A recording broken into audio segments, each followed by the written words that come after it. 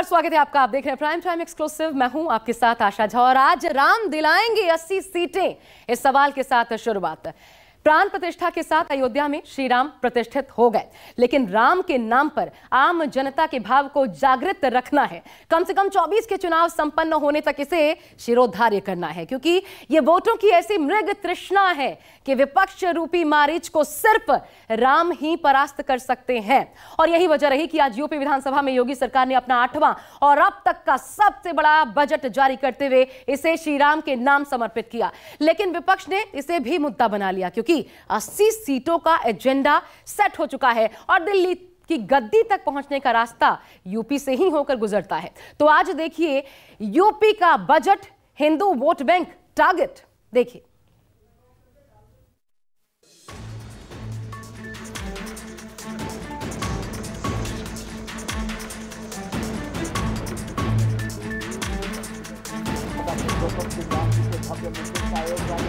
कि बजट की शुरुआत में, बजट के मध्य में, और अंत में भी प्रभु श्री राम हैं। ये 90 परसेंट बजट का पैसा 10 परसेंट लोगों पर और बजट का 10 परसेंट नब्बे परसेंट लोगों के लिए। 2024 के लोकसभा चुनाव से पहले यूपी की 80 सीटों को साधने के लिए बीजेपी की योगी सरकार ने अपना आठवां बजट पेश किया।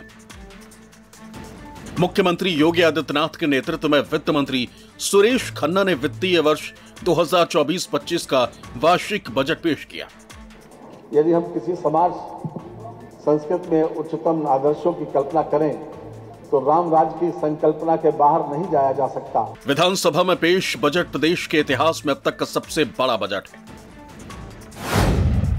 बजट सात लाख छत्तीस हज़ार चार सौ सैंतीस करोड़ इकहत्तर लाख रुपए। बजट में चौबीस हज़ार आठ सौ तिरसठ करोड़ सत्तावन लाख रुपए की नई योजनाएँ भी शामिल की गई। प्रदेश सरकार के बजट में महिला, युवा, किसान और रोज़गार सृजन पर सर्वाधिक ज़ोर दिया गया है। वित्तीय वर्ष के बजट में राजकोषीय घाटा तीन दशमलव चार छह फ़ीसदी है।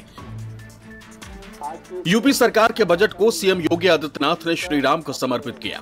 उन्होंने कहा कि आज का जो बजट है, वो प्रभु श्री राम को समर्पित करते हुए लोक मंगल की भावना को समर्पित किया गया। आज का जो बजट है, प्रभु श्री राम को समर्पित करते हुए, बजट की शुरुआत में, बजट के मध्य में और अंत में भी प्रभु श्री राम हैं। उनके विचार में उनके संकल्प में एक एक शब्द में श्री राम हैं। वहीं अखिलेश यादव ने कहा कि प्रदेश के 90 फ़ीसदी लोगों को 10 फ़ीसदी बजट का हिस्सा मिला है। बड़े व्यवसायियों को फ़ायदा पहुँचाने की कोशिश की गई। अखिलेश यादव ने कहा कि यूपी में लोगों को छींकने पर भी अब टैक्स देना होगा। ये केवल बजट 10 परसेंट संपन्न लोगों के लिए बना रहे हैं। 90 परसेंट बजट 90 परसेंट लोगों के लिए बजट नहीं है। ये 90 परसेंट बजट का पैसा 10 परसेंट लोगों पर और बजट का 10 परसेंट नब्बे परसेंट लोगों के लिए।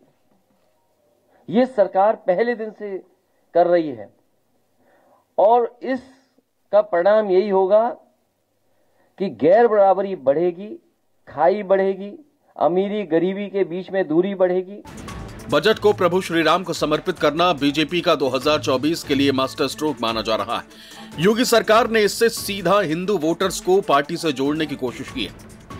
धार्मिक स्थलों के विकास और इंफ्रास्ट्रक्चर डेवलपमेंट के माध्यम से ये दिखाने की कोशिश की है कि बीजेपी ही हिंदुओं की सच्ची हितैषी है। लेकिन बजट को श्री राम को समर्पित करने के बाद से ही सूबे की सियासत गरमा गई। योगी सरकार ने अपने आठवें बजट को भगवान राम को समर्पित किया है। लेकिन उत्तर प्रदेश सरकार हमेशा एक थीम बनाती है अपने बजट में, थीम लेकर चलती है और इस बार का थीम इनका लोकमंगल है। लोकमंगल जो भगवान राम की शिक्षा से और उनके कार्यों से और जो पूरा संदेश उनका है, उससे जुड़ता है। तो ये योगी सरकार का लगातार दो कार्यकाल में आठवां बजट है, जिसके ज़रिए 24 में हिंदू वोटर्स को साधने की सबसे बड़ी कोशिश की गई है। यूपी के लिए कहा भी जाता है कि यहाँ धर्म की राजनीति पुरजोर होती है और ऐसे में धर्म को शस्त्र बनाकर बीजेपी 24 की बेतरनी पार करने की जुगत में जुटी है। तो फिर यह जानना, समझना ज़रूरी हो जाता है कि कैसे इस बजट का असर आने वाले लोकसभा चुनाव में भी देखने को मिल सकता आइए, आपको हम दिखाते हैं इस बजट की खास बातें। देखिए अयोध्या, काशी, मथुरा और महाकुंभ के लिए योगी सरकार ने अपना खजाना खोल दिया है, द्वार खोल दिए हैं। इसे आप दरअसल तीर्थाटन पॉलिटिक्स भी कहें तो गलत नहीं होगा। यानी अयोध्या के साथ साथ मथुरा और महाकुंभ को भव्य और दिव्य बनाने के लिए योगी सरकार ने बजट का खजाना खोल दिया है और यह साफ़ दर्शाता है कि बीजेपी हिंदू वोट बैंक को साधने की कोशिश में जुटी है चौबीस से पहले, जो प्रदेश में अस्सी फ़ीसदी के करीब आबादी है जिनकी। एक बड़ा तबका है। अस्सी फ़ीसदी लगभग। धार्मिक स्थलों के विकास के लिए पाँच हज़ार करोड़ रुपए से अधिक गए हैं बजट में। बजट में सरकार ने दरअसल पाँच हज़ार करोड़ रुपए से अधिक किए धार्मिक स्थल के विकास और इससे जो जुड़ा हुआ इंफ्रास्ट्रक्चर होगा, उसके डेवलपमेंट के लिए दिए हैं। लोकसभा चुनाव से कुछ समय पहले ये पेश हुआ है तो ऐसे में इस बजट में सरकार हर वर्ग को साधने की कोशिश भी कर रही है। धार्मिक शहरों के विकास पर हालाँकि ज़्यादा ज़ोर देखने को मिल रहा है। इसके अलावा देखिए, अयोध्या एयरपोर्ट के विस्तार के लिए एक सौ पचास करोड़ का प्रावधान, जहाँ पर फ़्लाइट आ जा रही है, लेकिन इस एक करोड़ के प्रावधान के साथ ही अयोध्या की तर्ज पर ही काशी और मथुरा के विकास की भी योजना है। और बजट में अयोध्या में स्थित जो महर्षि वाल्मीकि इंटरनेशनल एयरपोर्ट है, उसके विस्तार के लिए 150 करोड़ रुपए का प्रावधान है।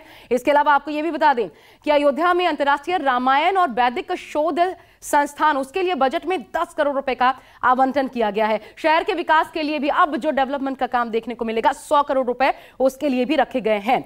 यानी इस बजट में योगी सरकार ने सूबे के सबसे बड़े 80 फ़ीसदी वोट बैंक को साधने की पूरी पूरी कोशिश की है और इसी का आरोप अखिलेश यादव लगा रहे हैं।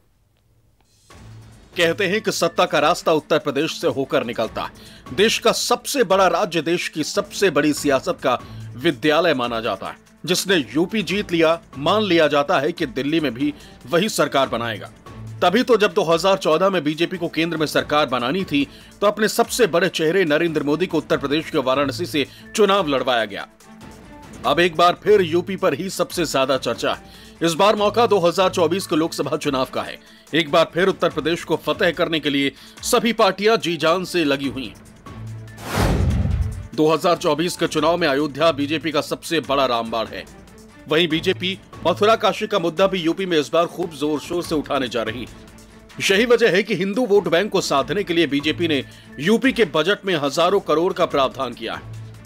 बजट को और उत्तर प्रदेश के जो प्रमुख धार्मिक स्थल हैं, उनको हिंदू मुस्लिम के नज़रिए से देखना मुझे नहीं लगता कि ठीक है, क्योंकि मथुरा में बहुत बड़ी तादाद में साढ़े तीन करोड़, चार करोड़ लोग सालाना आते हैं। काशी में 12 करोड़ लोग आते हैं, अयोध्या में छः सात करोड़ लोगों के आने की संभावना है, शायद साल के अंत तक बढ़ते बढ़ते 12-14 करोड़ लोग वहाँ पहुँच जाएँ।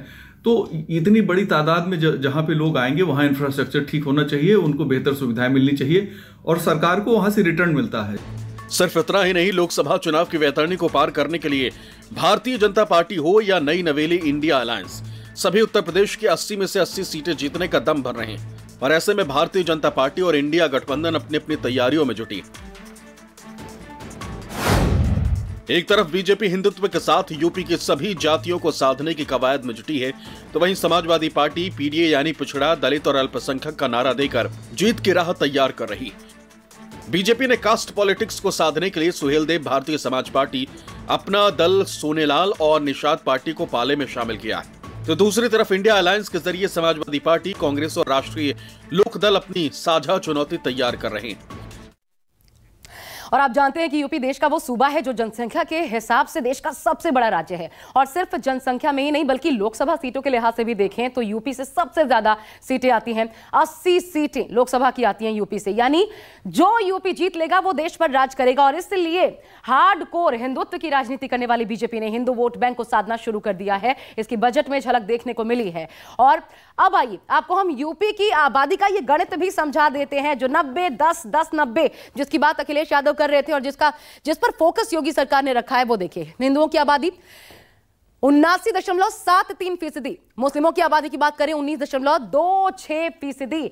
यानी साल 2011 की जनगणना, क्योंकि उसी वक्त ये जनगणना हुई थी, आखिर में याद कीजिए, और उत्तर प्रदेश की कुल जनसंख्या, अगर इस हिसाब से हम आपको बताएँ, आंकड़ों की जुबानी बताएँ तो ये हो जाती है उन्नीस करोड़ अंठानवे लाख बारह उस वक्त थी।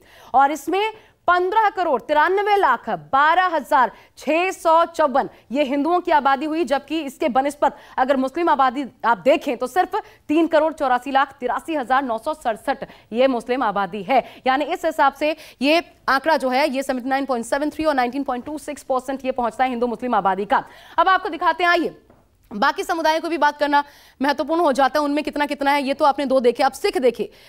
पॉइंट थ्री टू परसेंट ईसाइयों की बात करें, पॉइंट वन एट परसेंट। महज इतना ही आंकड़ा है इनका। इसके अलावा आपको बता दें, और कौन कौन से बौद्ध, जैन, इनकी भी बात करें तो इनकी भी तादाद देखने को मिलती है। और वो भी काफ़ी ज़्यादा मार्जिनल बहुत कम। अगर उसकी भी, ये देखिए, बौद्ध, जैन और अन्य धर्मों की बात कर ली जाए तो बौद्धों की संख्या है पॉइंट वन ज़ीरो। इसके अलावा जैन पॉइंट वन वन। अन्य धर्म की बात करें तो पॉइंट महज पॉइंट वन फ़ीसदी है। यानी यूपी की कुल आबादी का सबसे बड़ा हिस्सा है हिंदुओं का। और ऐसे में बीजेपी ये जानती है, समझती है। और अगर इस वोट बैंक को साध लिया तो फिर यूपी की 80 सीटों को साधना भी आसान हो जाएगा, क्योंकि ये बात भी साफ़ है कि प्रदेश का अल्पसंख्यक वोट बैंक जो है, वो बीजेपी का कोर वोट बैंक कभी नहीं रहा, न है। और इस चुनाव में भी ऐसी कोई उम्मीद नज़र नहीं आ रही। लेकिन हिंदू, जिसमें कि ओबीसी आते हैं, दलित, सवर्ण, ये सब तमाम वोट आ जाते हैं, ये जिसके फेवर में वोट कर गए, उसकी जीत इस चुनाव पक्की समझिए। और यही वजह है कि बीजेपी अपने मिशन हिंदू पर जुट गई है। और यूपी का, क्योंकि ये एक ऐसा राज्य है जहाँ पर सियासी, दलगत राजनीति और इससे बढ़कर कास्ट पॉलिटिक्स देखने को मिलती है तो ये तैयारी भाजपा ने अपने स्तर पर, क्योंकि जब मौका है और चुनाव से महज कुछ पहले दिखा दी है।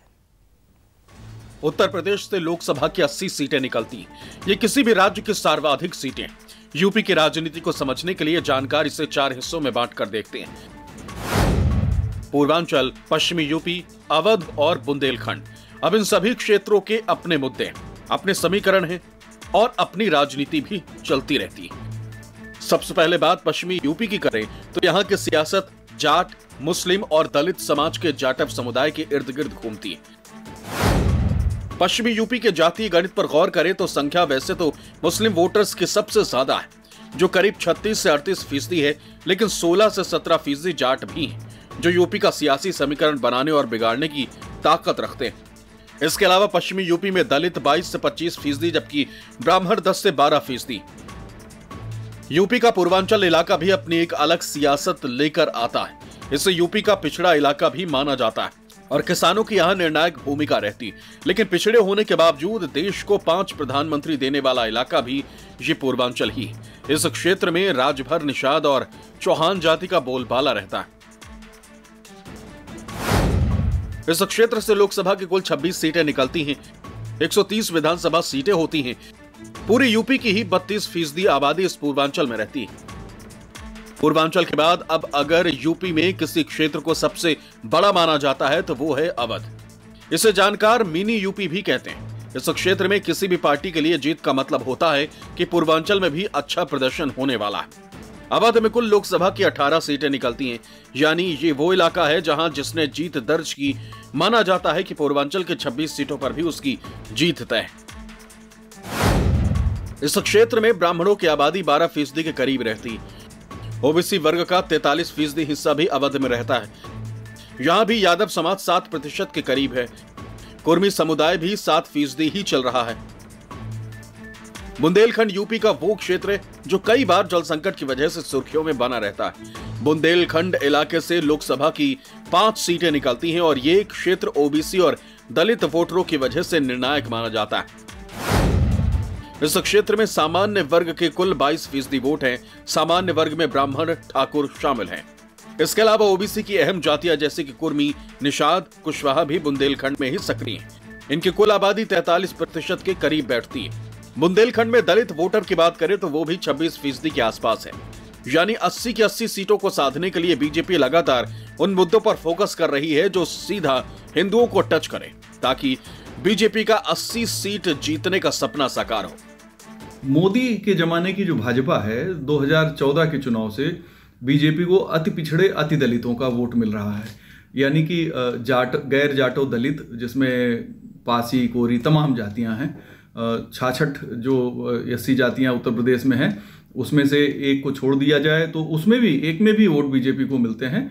तो वहाँ से वोट इसको मिलते हुए नज़र आते हैं। बीजेपी के मुकाबले जो पीडीए है अखिलेश यादव का, वो कोशिश तो अखिलेश यादव कर रहे हैं, लेकिन भरोसा जीतने की ज़रूरत है। लोग विधानसभा चुनाव में उन्होंने अच्छा परफॉर्म किया था और अपने सहयोगी दलों से ज़्यादा अच्छा परफॉर्मेंस समाजवादी पार्टी का था।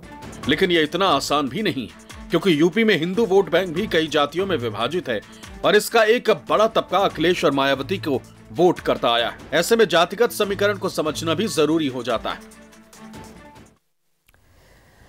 बिहार की तरह दरअसल यूपी भी एक ऐसा राज्य है जहाँ चुनाव में मुद्दे काम करें या ना करें, लेकिन जातियाँ ज़रूर काम करती है। कैंडिडेट कितना योग्य है? वोटर ये बाद में देखता है। पहले ये देखता है कि विधायक या सांसद के लिए जिस उम्मीदवार को उसे वोट देना है, वो उसकी जाति का है या नहीं। 2014 में भी आपको बता दें, मोदी लहर ने जातियों के इस बंधन को हालाँकि उस वक्त ज़रूर तोड़ा था, लेकिन फिर 2017 के बाद यूपी में जातीय, ये जो एक बार फिर कास्ट पॉलिटिक्स है, इसके सहारे लोगों को बांटने का काम तेज हो चला। उत्तर प्रदेश में अखिलेश यादव खुले मन से कहते हैं कि अगर राम राज लाना है तो जाति आधारित जनगणना से ही यह संभव होगा। उत्तर प्रदेश की 80 लोकसभा सीटों पर ऐसे में जातिगत आंकड़ों की बात करना ज़रूरी हो जाता है। आइए, वो समीकरण भी हम आपको समझाते हैं। जातीय समीकरण समझिए। देखिए, ओबीसी कितने हैं?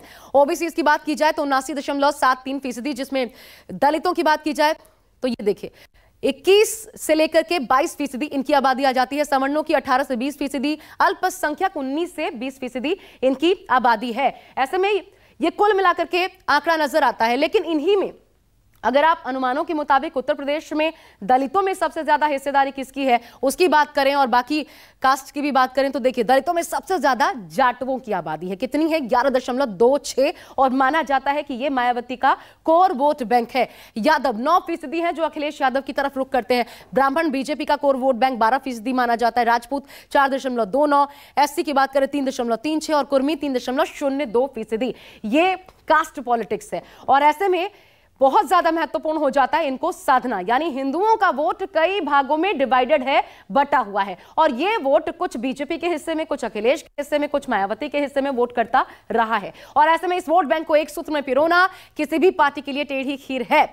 लेकिन इस बार बीजेपी और समाजवादी पार्टी दोनों मायावती के हिस्से वाले वोट बैंक में सेंधमारी का प्लान ज़रूर बना रहे हैं, क्योंकि वो अलग अलग तरीके से अपने अकेले दम पर चुनाव मैदान में उतरने जा रही हैं।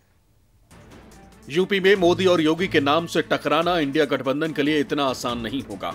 और ये बात खुद नई नवेली अलायंस भी जानती है। हालाँकि अलग अलग पार्टी के नेता तो अपनी अपनी जीत के दावे करेंगे ही। मगर इतना तो तय है कि यूपी की 80 सीटें 2024 लोकसभा चुनावों के नतीजों की लकीर खींचेंगी। ये 80 सीटें जिनकी भी झोली में गिरेंगी, दिल्ली की सत्ता पर उसी की दावेदारी सबसे ज़्यादा मज़बूत होगी। Bureau report, news twenty